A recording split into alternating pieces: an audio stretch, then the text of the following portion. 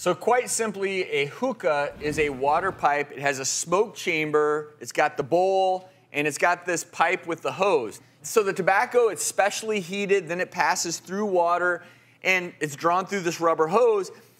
And I think we can safely say that the perception is that this is safe Yeah, or people think safer. that that's mm-hmm. not doesn't have the same effects that smoking cigarettes does, and that's absolutely not true. And actually, can have more effects. and what's yeah. even more disturbing is more women, especially college-age Yeah, girls, but- are doing it. And the fact that this, the tobacco, it's, it, smell, it smells like peaches. Yeah, you it's know, got a, or- a it also flavor. It's social. It's making cigarette smoking even more sexy and appealing to a younger generation, but it has just as much of the health risks, if not more. Studies have shown respiratory problems, periodontal disease, Mm-hmm. all of the, the cancers related to smoking cigarettes Exactly. Same have been obstructive linked lung to, disorders, to yes. hookahs. And we can't lose sight of the fact half a million Americans die prematurely every year from using tobacco from smoking, and hookahs are no exception. Sometimes I do feel like we're the ones who, you know, we have to tell everyone,